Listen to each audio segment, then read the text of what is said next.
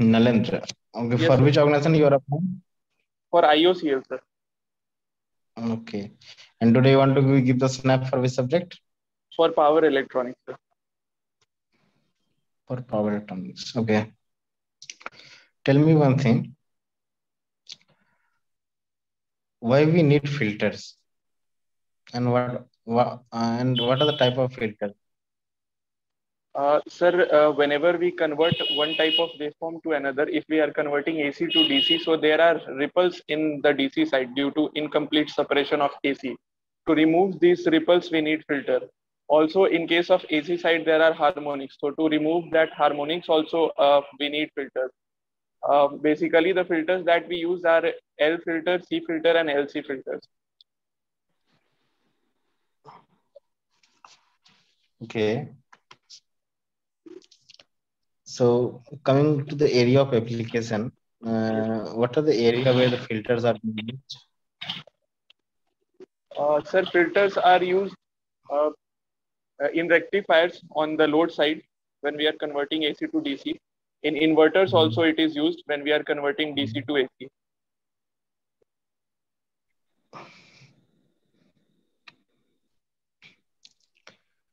Okay.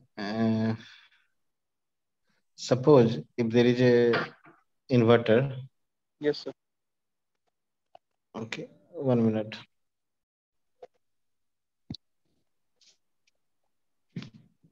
Yeah, no. Yes, sir. Okay.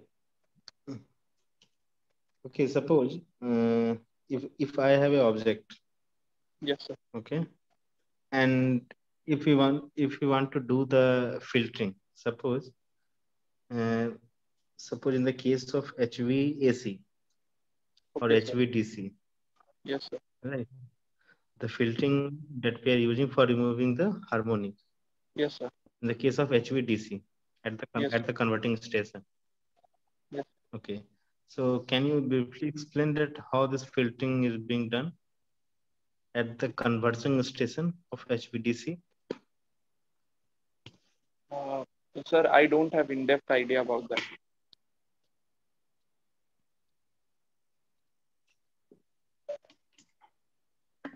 Anything?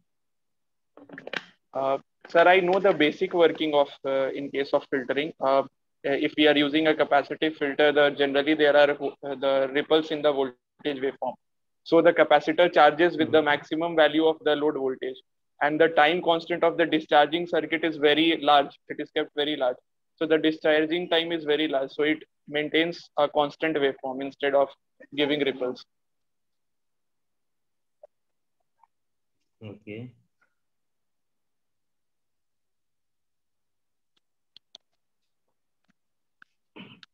Okay. In the inverter, Yes, sir. okay. What is the uh, first of all? Tell me what is the uh, why we need the inverter? And in the inverter, there are the Yes, uh, there are two conduction mode, 180 degree and 120 degree. What is this? Ah, yes.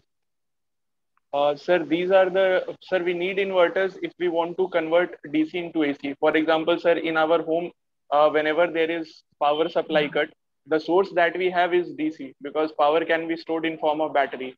But the load that we want to drive is the AC load. So we need some kind of power electronic converter which can convert that DC into AC for me. So that that inverter serves that purpose. And uh, a 180 degree and 120 degree are uh, the types of three phase inverter. Uh, in 180 degree conduction mode, uh, the switch conducts for 180 degree, whereas in case of 120 degree mode, it conducts for 120 degree. Uh, the reason why we move from 180 to 120 is that in case of uh, 180 degree, there are harmonics in pole voltage, pole voltage. But in case of 120 degree, pole voltage, line voltage, or phase voltage, all are free from uh, harmonics, third harmonics. Okay. What do you mean by third harmonic? Uh, so third harmonics are the component of fundamental frequency, which are multiplied by a factor of three. For example, if we have uh, 50 hertz frequency, then the frequency components which will have 150 hertz frequency, they are, they'll be third harmonics.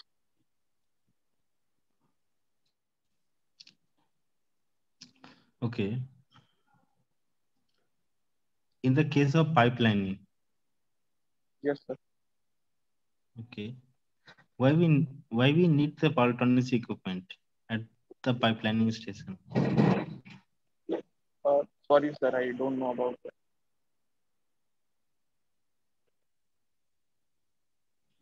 Anything? What is pipelining? Um, sir, I have brief idea that uh, the refined products in the refinery they are sent to distribution stations uh, through pipelines which are made up of steel.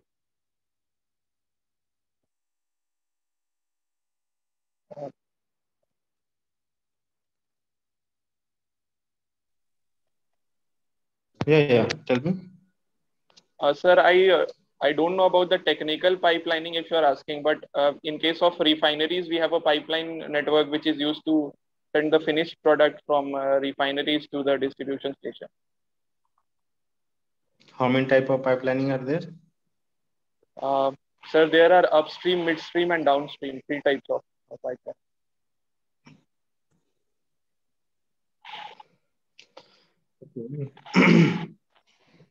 Suppose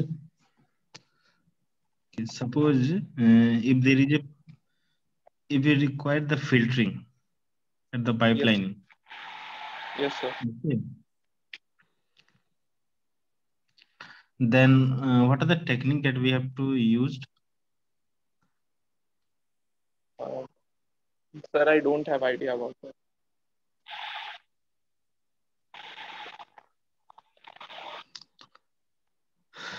Okay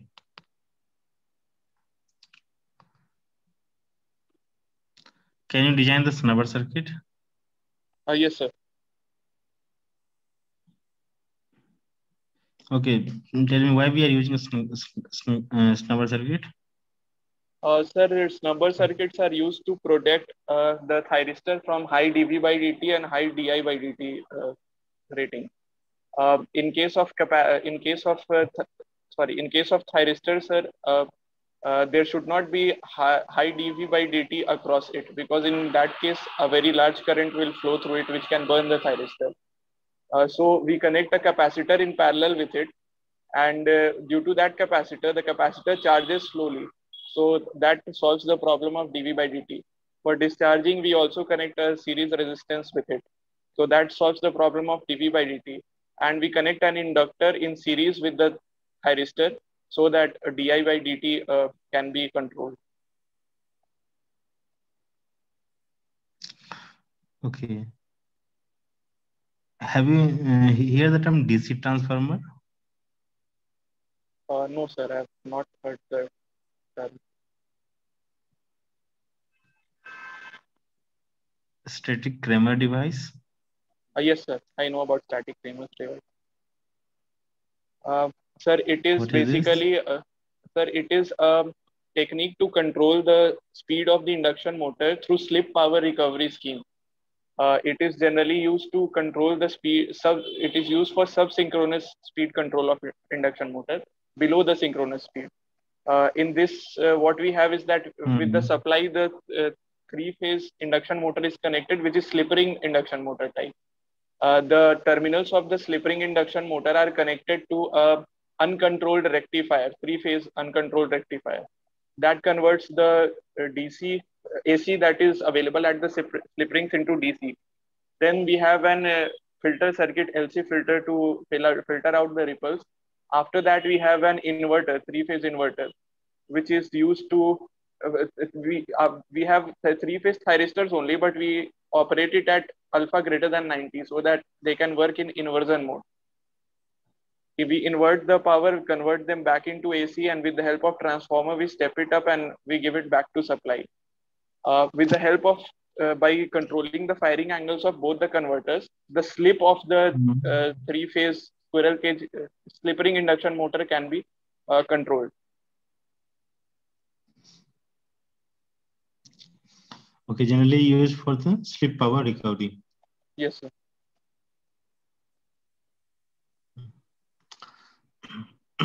okay so in the static Kramer device uh, what are the component that we are using Uh, we are using a uncontrolled three-phase rectifier in which we are using diodes.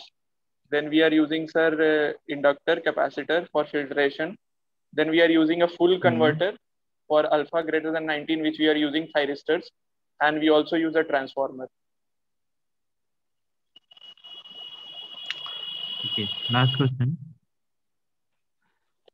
In the case of reducing the harmonic, uh, we are there to use the filter. Yes, sir. So it is also advisory to not to use the Paltronics equipment.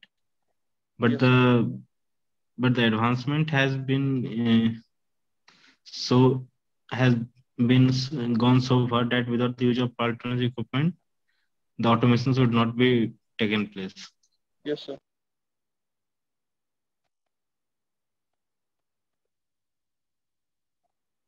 Hello. Hello. Hello. Sir, can you hear me? Hello. Yeah, Nilan. Yes, sir. Okay, last question. Yes, sir. That uh, with the increasing use of Paltronics, uh, the harmonic is introduced into the system, right? Yes, sir. So it is advisory to not to use the Paltronics equipment, Uh, but the automation should not possible without the use of this. Sir, uh, if we are, don't use power electronics equipment and we connect an external filter circuit, it increases the cost as well as it uh, it is costly and it reduces the overall efficiency of the system.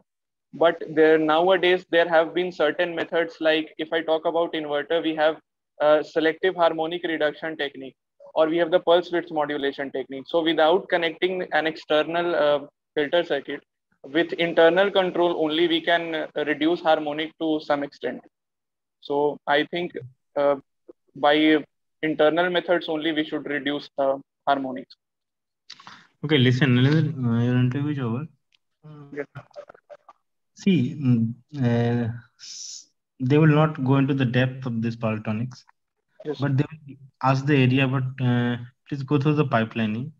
okay sir Uh, what are the method of filtering? yes sir filtering of the oil also they will ask and filtering in the term of equipment that we are using at the pipelining station okay sir right what are the method what are the motor that we are using and uh, also uh, how this static Kramer device actually work? Okay please go through the um, in one or two animation video how this actually okay work. sir. Okay right. Okay sir. Mm, they will uh, mostly ask about MOSFET, BJT, IGBT, okay, basic difference. okay sir. One popular thing is that uh, mm, there is a term called IGCT card, i see IGCT. okay sir These are the popular uh, drive that used to operate the voltage of 6.6 kV. okay sir Okay, so please go through this. And uh, yeah, this much is enough for the Baltonics uh, from the Okay. Point of view. Okay. okay sir thank you